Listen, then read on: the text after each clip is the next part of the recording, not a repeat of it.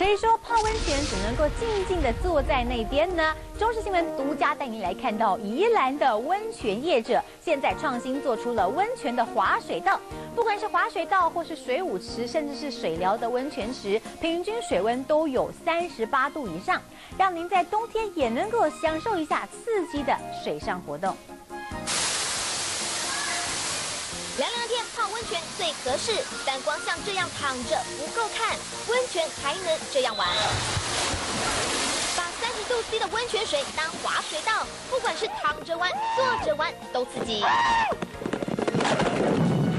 五层楼高的滑水道，十几秒钟就像这样扑通就下水。很好玩，会冷吗？不会，靠这个可以很光滑。冷冷的冬天也能玩滑水道，小小孩爱玩的溜滑梯。同样也有暖暖的温泉水来伺候。不会，好不好玩？